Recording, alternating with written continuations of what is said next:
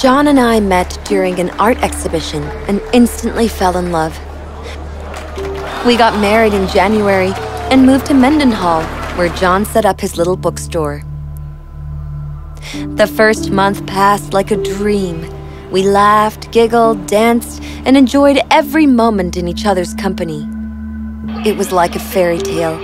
I was his Cinderella, and he was my Prince Charming. I love you so much. I love you too, my prince. Now go. I will see you for lunch. In the afternoon, I packed our lunch and headed towards the bookstore.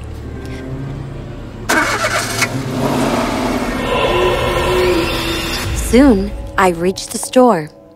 Oh, hey. Don't hey me. What's wrong? The books in the storeroom are all destroyed, torn and bitten by rats. Rats? Here? I know, it's strange. The window was locked and we didn't find a single rat. Is the loss big? Yeah, spent all the profits on the new bestsellers. It's okay. We will figure out something. Please, I cannot see you upset. Come, let's eat. Hey, look at me. We can sell my car for now and cover the cost for the books. Ah, you don't need to do that, honey. It's fine. I can use the bus. Besides, once things fall back into place, I can buy a new car. Now stop with that sad face and give me a smile. I love you, baby. I love you more. Oops, I'll get that. Honey, what's wrong? There is there is someone under the table. What? Where? There is no one. Baby, are you all right? I I don't feel too well.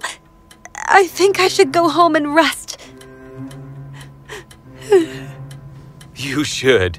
I will finish up soon and see you at home. When I reached home, I poured myself a glass of wine and I sat on the couch. I sat on the couch and turned the television on. I don't know when I passed out, but when I opened my eyes. Oh my god!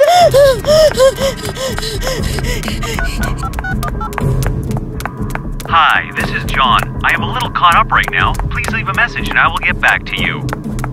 Shit!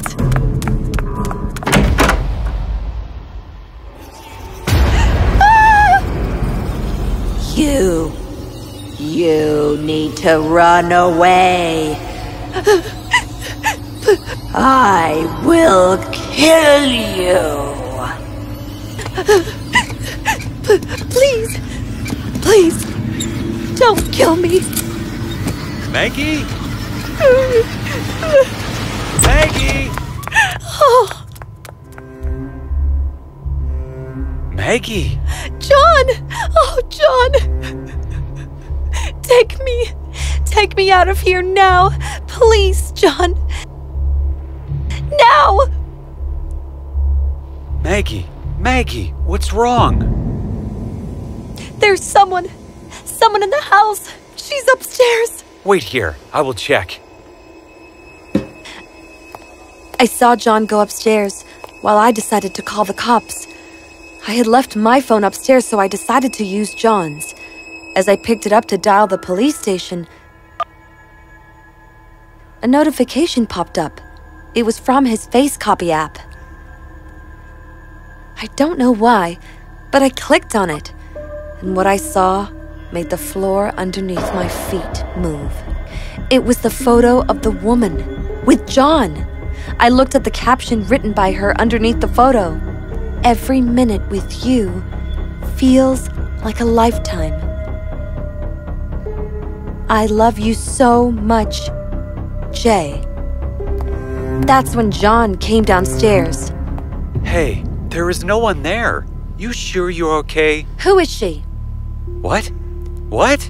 What are you doing on my face copy? Who is she, John? She's no one, just an old girlfriend that didn't work out. Why is it important? Because this is the woman who was upstairs. What? It. It's impossible. Why? Because she's dead. What? What? As I was about to speak, I felt my body taken over by something else. A power. A force.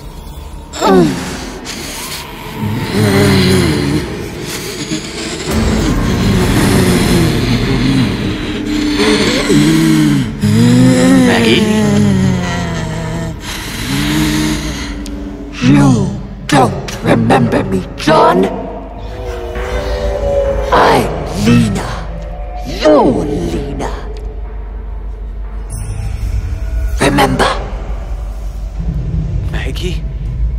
Some kind of a prank? Oh, I am no Maggie, John. Can't you tell?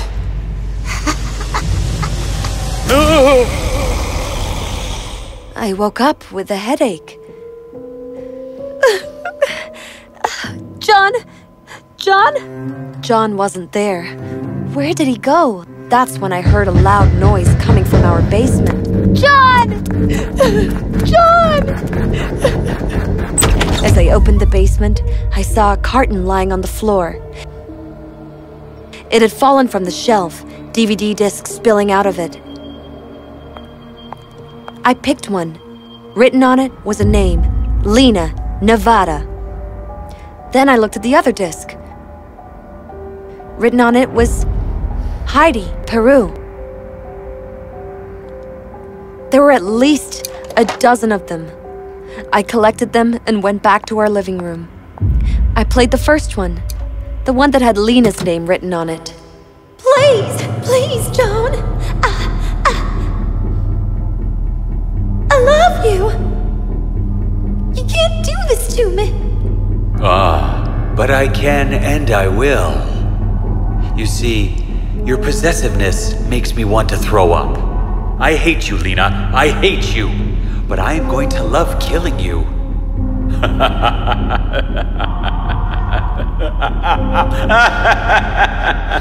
John, no! No, John! John, no, no! Ah!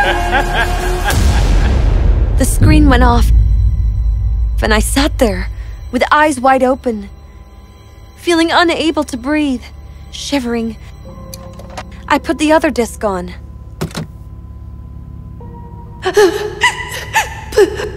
Love is an exaggeration, Heidi. It's a mere chemical reaction. The same chemicals that give me the thrill to kill. The same chemicals that gives me the thrill to kill.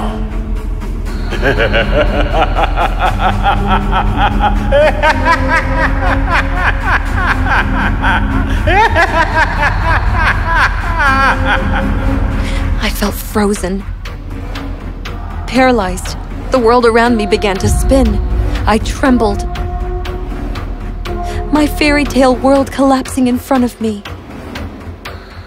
The prince in my story is a monster? My stomach twisted, making me feel sick. Shaking, I walked up to the phone and dialed the cops.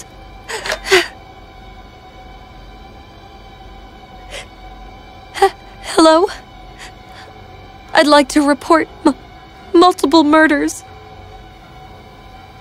I sat on the couch as the videos played in front of me.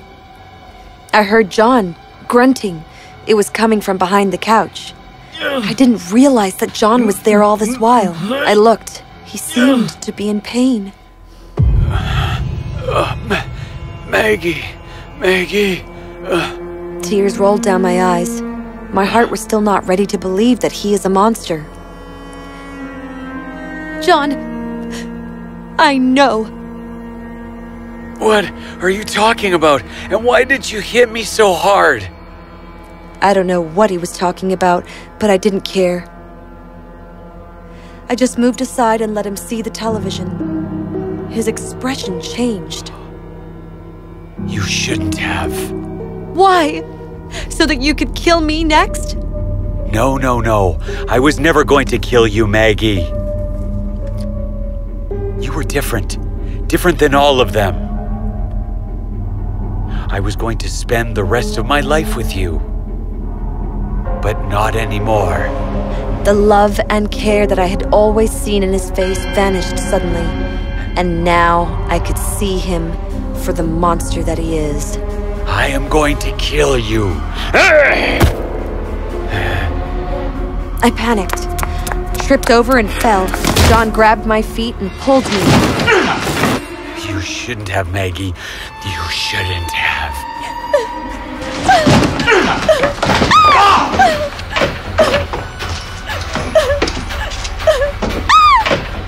You were perfect. You had to ruin it. You. Call it my luck but at that moment the cops came. Move aside and put your hands in the air.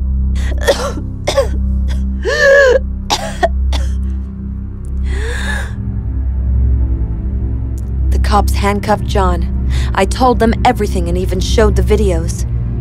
As they were taking him away, John looked at me with anger. You will pay for this, Maggie. I will come back for you. Not even in a thousand years. You were going in for life. As they walked out, I saw Lena at the door. She smiled at me. I don't know why, but I smiled back. It is because of her that I am alive today. It's been a year since that incident, and I'm still to recover from it. As for John, well, he is locked up in some prison, facing a life sentence. Yes, that's the end of my fairy tale.